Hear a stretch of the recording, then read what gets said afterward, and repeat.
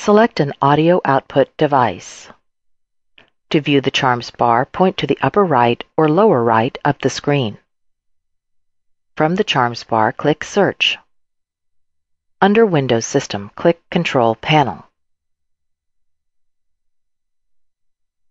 Click Ease of Access. Click Speech Recognition. In the task pane, click Text to Speech. On the Text to Speech tab, click Advanced.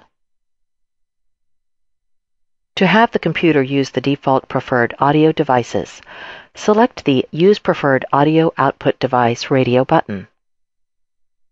To specify an output device, select the Use this audio output device radio button.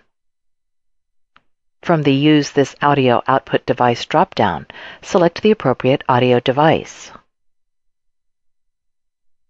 Click OK.